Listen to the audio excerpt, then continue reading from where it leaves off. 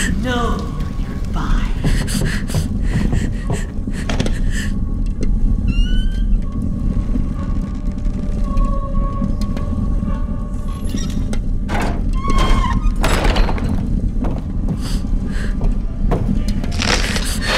There you are!